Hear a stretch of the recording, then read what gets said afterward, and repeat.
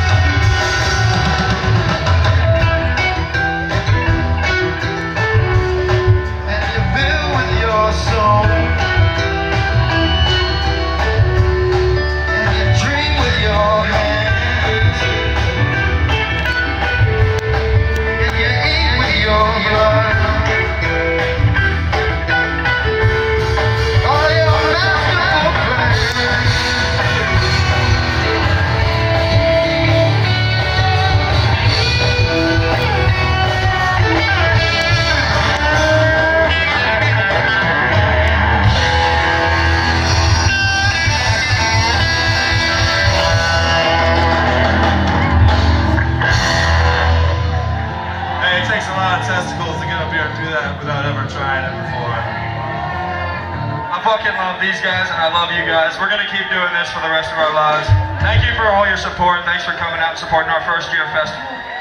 Squeaking up here, but I just love you guys so much, and uh, we're gonna do our best to create a community for you guys for the rest of our lives.